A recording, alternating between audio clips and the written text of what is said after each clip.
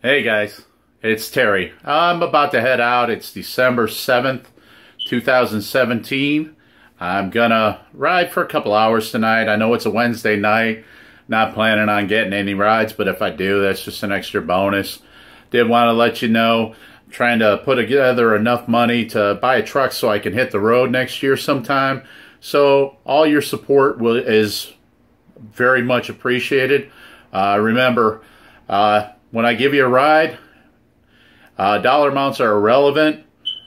Uh, tens and twenties are always nice, but I appreciate whatever you give me.